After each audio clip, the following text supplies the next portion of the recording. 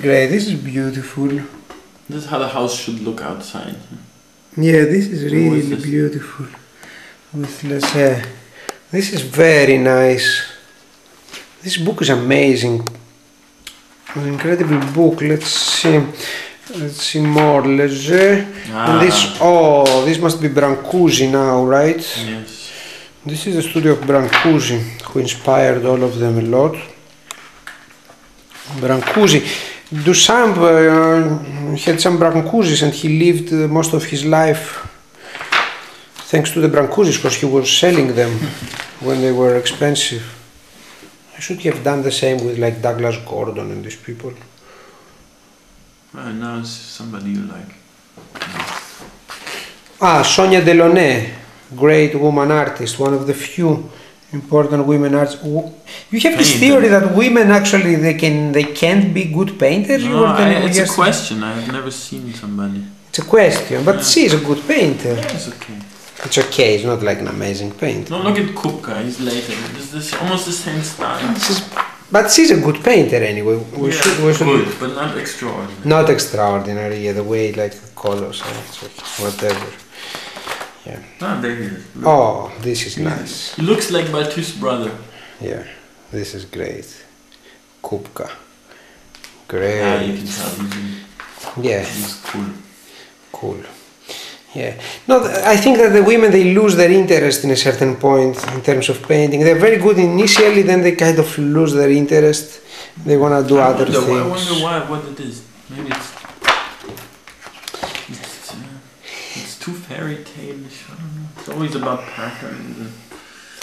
Okay, let's not forget that the painter does everything he does to to amuse females or male. Who's this now?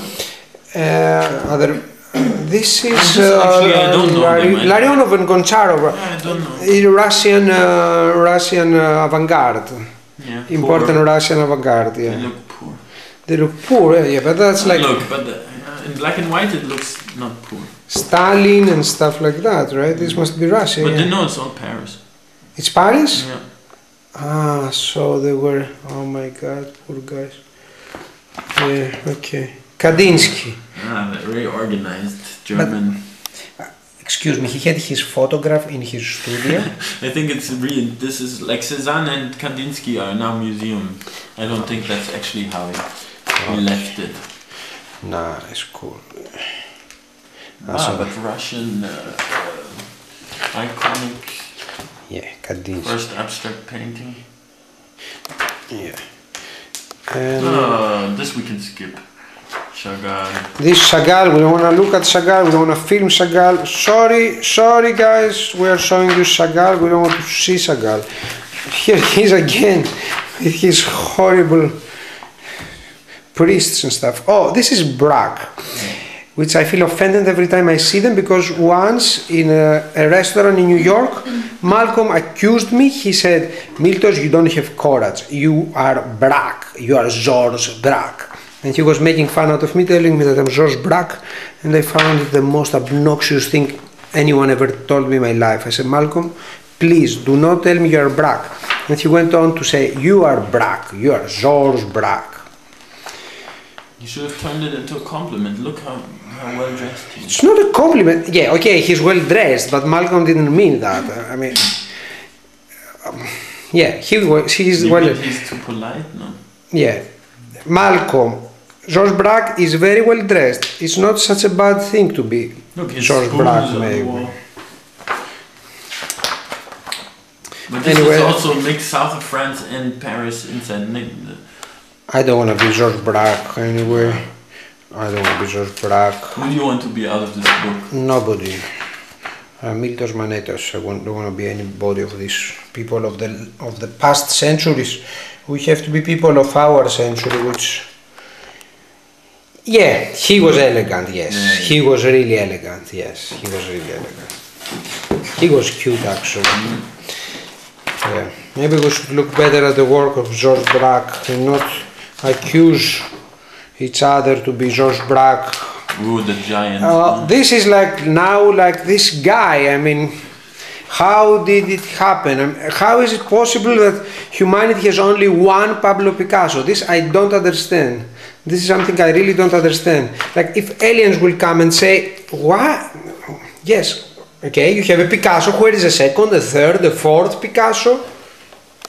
What's your opinion about that? Why do we have only one so Picasso? polarizing, everything else becomes a copy of a Picasso after, in his style, you know. Why are pe- people still trying to paint realistically after Picasso? It is not even about the painting with Picasso. It's about the, the existence of a creature who can He was a do that. Minotaur, no? How do you say Minotaur? Minotaur? Minotaur, yeah. Minotaur. A unique, a unique case, Picasso. My God. Like even the worst Picasso next to a very beautiful Look, this was his car chauffeured In by a his son. Yeah, Ah. the son is a chauffeur. Very nice. Very very nice.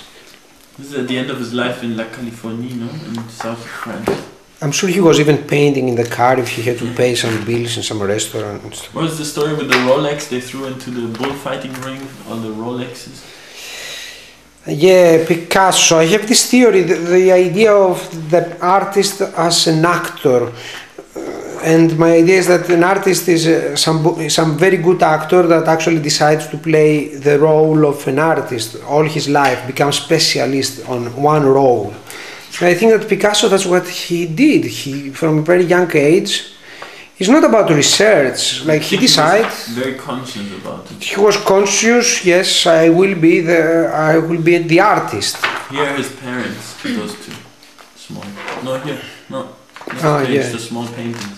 ah, his parents ah cool so he decided to play uh, the actor in the drama of of contemporary life how an artist should be what is what what is the artist of that past century. That's why Duchamp kind of gave up because